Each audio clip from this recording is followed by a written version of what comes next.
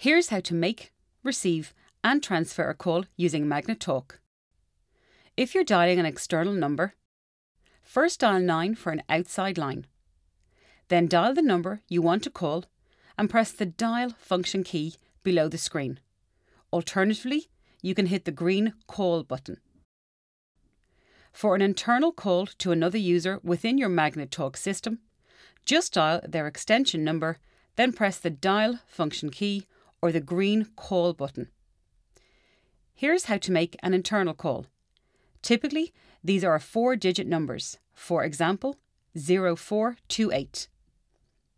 To call extension 0428, first dial the numbers, then click the dial option or the green call button. This call is now ringing through.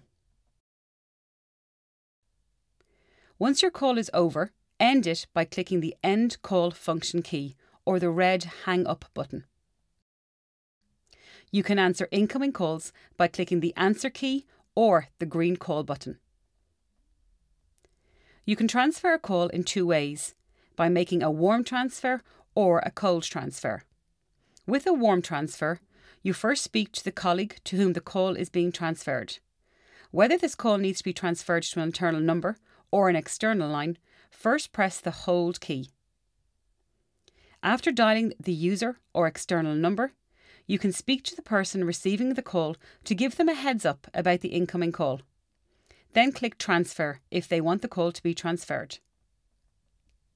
For a cold transfer, just click Transfer after you dial the user, ring group, or external number, and the call will be transferred straight through.